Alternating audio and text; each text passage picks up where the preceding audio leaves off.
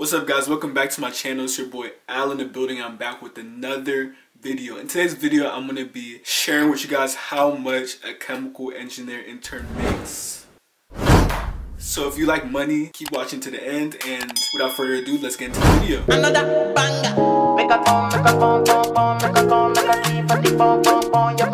I released a video about two months ago. And when I released that video, a lot of people asked me questions about like, you know, the salary, the money, stuff like that. So i figured like why not make a video and share with you guys? Real data. I'm real data. You never see videos like how much interns make most of the videos i was able to see is like people that already graduated. So i felt like hmm how much does an engineer intern make? That's a little bit different. I've never seen that before. So when i first started this internship i thought wow like i'm about to be making so much money. Like i'm gonna be able to uh the standard of living is gonna get like you know what i'm saying? It's gonna be high because First of all, I've never made this much money before. This was a big, a big change basically. In terms of like the pay and stuff, it truly truly depends on your location company like company size maybe you're working for a big company maybe they'll pay more and even like the industry like maybe if you're working like tech versus like agriculture or I don't know there's a lot of factors different for everybody at my internship personally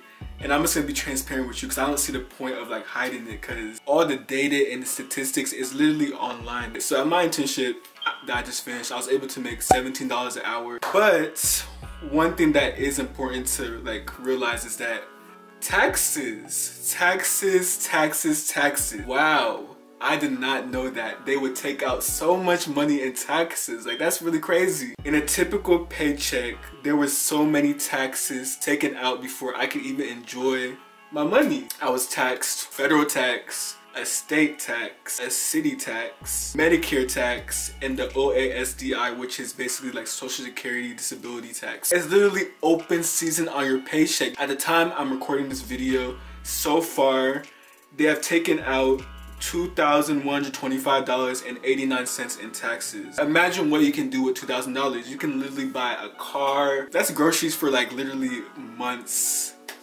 Can you guys believe that? When you when you start to ask how much does an engineer make, you really have to ask the question like how much are they gonna take out in taxes? Once you get like married and you have kids of course the taxes aren't gonna be as much. That's why i feel like entrepreneurship and owning your own work are really really important because there's certain loopholes i was reading about a couple of days ago that you can bypass with taxes. So that's a video for another day but yeah that was a whole entire points video. Yes you're gonna be making a lot of money but the government is also going to be making a lot of money at the same time. Yes, you're going to be enjoying, but are you really gonna be enjoying? Thank you guys so much for watching the video. I hope you guys enjoyed. Before you leave, make sure to like, comment, subscribe. Let me know what you guys think down below, and I'll see you guys in the next video.